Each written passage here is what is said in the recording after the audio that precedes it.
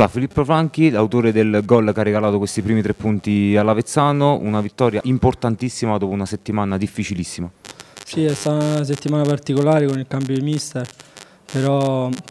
noi comunque siamo sempre stati concentrati solo sulla partita di domenica. Speravamo arrivasse questa vittoria perché è da inizio di tiro che stiamo lavorando sodo, ce la stiamo mettendo tutta, purtroppo fino adesso i risultati non ci avevano aiutato, magari con questa vittoria riacquisiamo la serenità perché la serenità viene solo attraverso i risultati, quindi siamo contentissimi e adesso ci godiamo questa vittoria. Senti, avete dimostrato di essere un gruppo molto unito dopo una settimana difficile, questo, questa reazione, questa vittoria avete dimostrato di essere un grande gruppo.